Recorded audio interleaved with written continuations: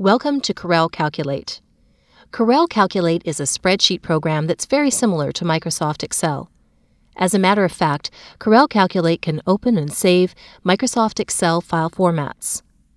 I received this spreadsheet in an email from a coworker and saved it to my desktop. I'm going to open it in Corel Calculate. One of the benefits of Corel Calculate, in addition to its file compatibility, is that we have a quick access toolbar that lets us choose different views of our spreadsheet and provides a shortcut to commands. You can minimize the toolbar, which makes it disappear until you need it again, giving you more workspace. It reappears whenever you click on any of the top tabs. Today, now that I've received the spreadsheet, I'd like to make a couple of corrections to some numbers.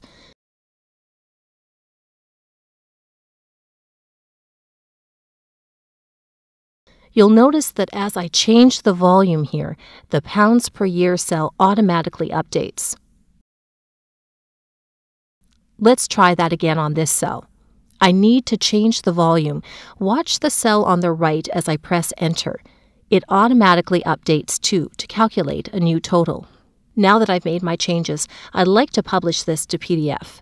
It's very easy. Click on the Quick Access button, choose Save As, and select PDF, Portable Document Format. PDF format is convenient because it is one of the most common file formats, making it easy for other people to open. Converting your spreadsheet to PDF also prevents them from altering your numbers.